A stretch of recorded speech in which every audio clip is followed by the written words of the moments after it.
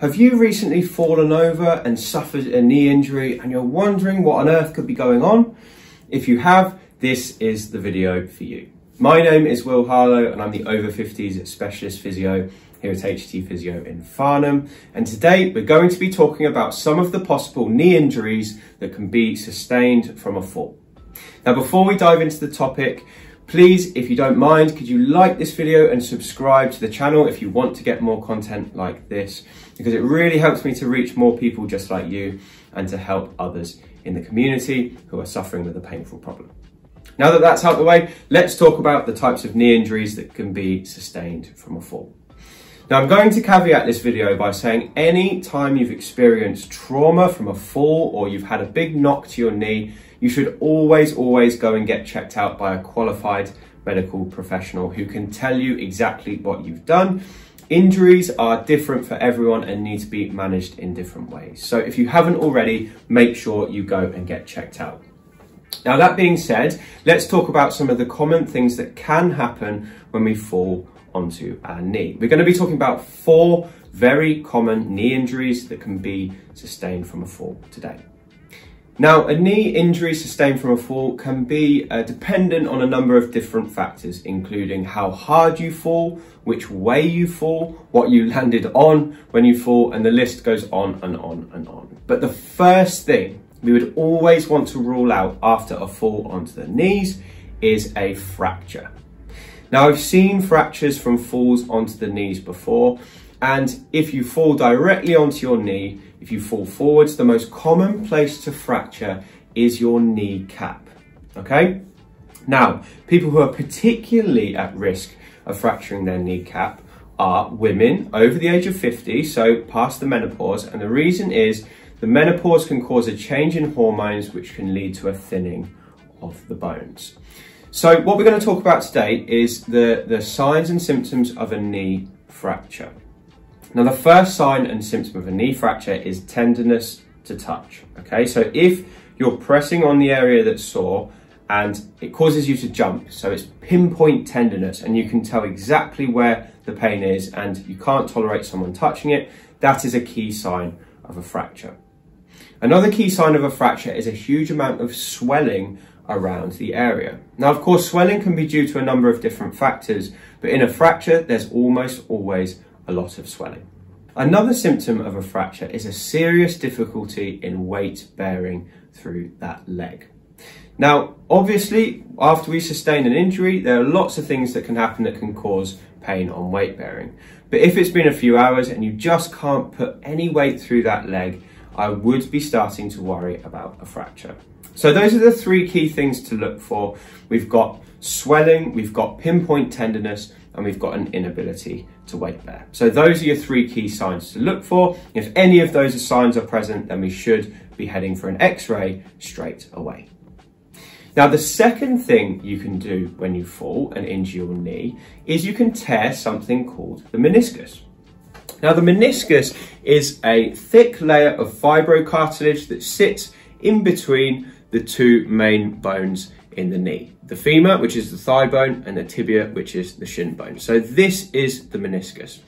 And the meniscus is a shock absorber, okay? When we're walking, shock goes up through our legs, the meniscus absorbs it so it doesn't go right up into the hips and then the spine.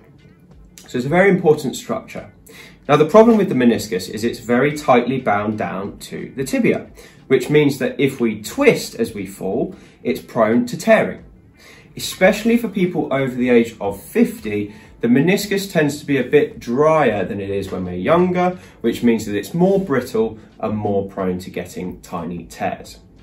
Now, the signs and symptoms of a meniscus tear are tenderness right over the line of the joint, not quite as tender as a fracture, but enough to be uncomfortable when you press and prod, Sometimes the knee can give way, so you can be walking okay and then suddenly it will go. That can be another sign of a meniscus tear. And a further sign of a meniscus tear is something called locking. And locking happens where you move the knee in such a way that suddenly it gets stuck. You can't do anything for a few seconds. You have to use your hands to shake it off and then you can move the knee again. That's called mechanical locking and it can be a sign of a meniscus tear. Now, if you have any of those symptoms, it's very important to go and get checked out. And you can't see a meniscus tear on an x-ray. For that, you would need an MRI. Now, the next thing we're going to talk about when it comes to knee injuries from a fall is just a bruised knee. So with a bruised knee, what we're going to likely see is a lot of swelling, similar to the swelling we see if someone was to fracture their knee, but we'd also see um, quite a lot of discoloration around it, which again we might get in a fracture, but the thing that would be mostly missing from the fracture would be the tenderness. So if you've bruised yourself, you know it's not very comfortable to press and prod, but it's still possible. Whereas with a fracture, often it's almost unbearable to touch it.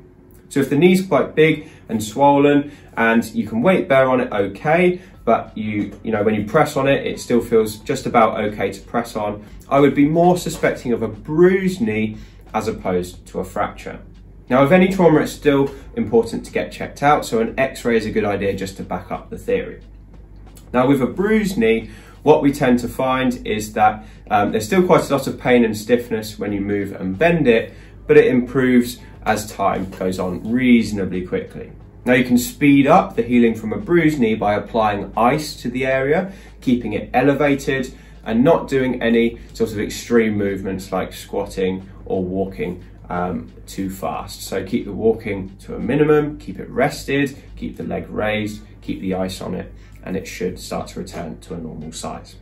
And then the final common injury we're going to talk about when it comes to a knee injury from a fall is a ligament sprain. Now it's possible to sprain any one of four main ligaments in the knee. So I'll show you the ligaments. We've got the medial collateral ligament on the inside of the knee, and this joins the thigh bone to the shin on the inside. On the other side, we've got a smaller ligament called the lateral collateral ligament. And again, this joins the thigh bone to uh, this time the fibula, which is the smaller bone on the outside of the, uh, of the calf. So if you have a side-to-side -side injury, so if you fall on your side and you knock the inside or the outside of your knee, you can tear the opposite ligament. So if I knock this side of the knee, that one could be injured. And if I knock this side of the knee, this one could be injured. Now, if we wanted a, a, to look at a more serious ligament sprain, we can look at the inside of the knee. And inside of the knee, we have two main ligaments. One is called the anterior cruciate ligament, which is the one that most people have heard of. It's the commonly injured one in skiing and football. And we also have the posterior cruciate ligament, which is just as important, but it's less commonly injured. Now, the posterior cruciate ligament is often injured if someone whacks their shin very hard. So the typical injury for this is a car crash. So someone will crash, the front dash smashes the, the front of their knee and it sends their shin backwards and then that can injure the posterior cruciate ligament, also called the PCL. Now the anterior cruciate, the ACL, often happens in a similar way to the meniscus. So it could be a twist, it could be sometimes quite innocuous. So if you step down a curb and your, and your knee gave way and you fell, that can sometimes be the cause of an anterior cruciate ligament. Now, if you have either of these ligaments uh, injured, what usually happens is the knee will swell, but it will swell more slowly, and you will have an instability when you walk. There might not be that much pain. It might just feel like something's out of place. You don't really trust your knee. It feels like it might give way. Those are all very um, common symptoms for a ligament injury.